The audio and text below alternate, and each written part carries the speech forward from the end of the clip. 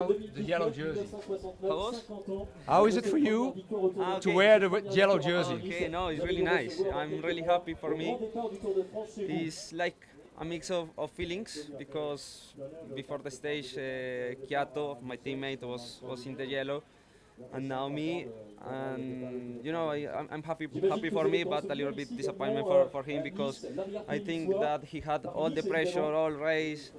He was the leader for a few days, so um, I think he he did really good. But at the final, with Gilbert in the front, we just need to, to go full gas. And now the yellow jersey is in in the team, and we need to try our best tomorrow.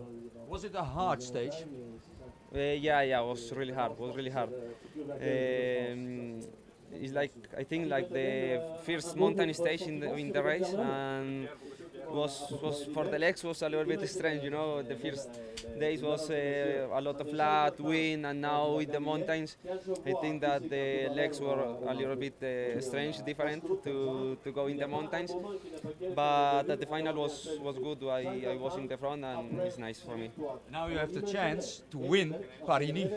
Yeah, uh, yeah, I have one chance, but the race finishes tomorrow, and tomorrow will be a really hard stage, uh, really short. But I think that all years the, the last day is really hard, so we need to keep concentrate.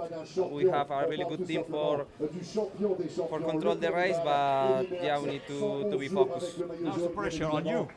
Yes, yes. Now I have the pressure, but uh, I think that I have a really good team. Now I'm happy because I have the yellow, uh, and I will try my best. And yeah, I, I'm really confident in my team. Good luck tomorrow.